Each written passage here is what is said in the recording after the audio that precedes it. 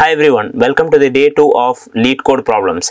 Now we are in 30 days of JavaScript in the LeetCode problems. In the previous class we have discussed how to do uh, counter closure in the counter example.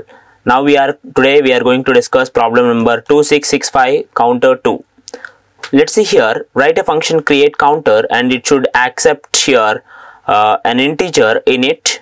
Yes, it is saying it, it is accepting an integer and then it should return an object with this following functions increment decrement reset.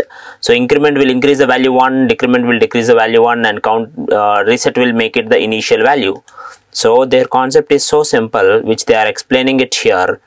Now if they give here counter dot increment then automatically if initial value is 5 it will get 6 uh, if they give reset it should be 5 if they give it decrement it should be 4 so let's create it a simple one let's write it here. Let value equals to init. Initially i'm taking in a value init.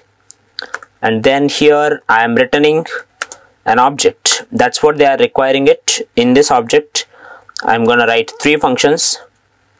Increment.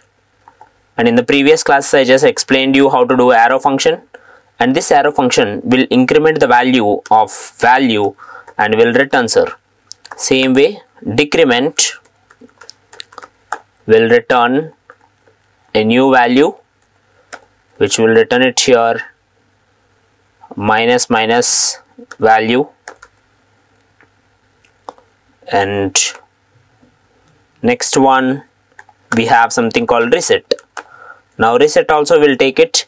This is interesting point. Reset instead of returning uh, plus plus value which is or minus minus value it will return the initial value which is original value. So it should return something the actual value. It can return something like init or you can directly write init there or you can write it something like value equals to init.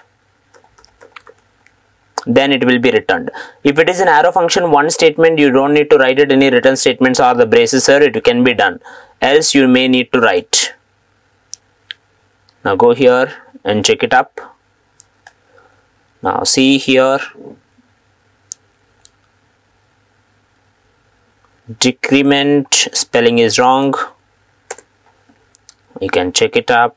Now increment decrement reset. Which passed in the test case 1 and passed in the test case 2 now to understand this one you need to understand a basic concept of closure which will take it the previous value which inner function can remember the outer function value.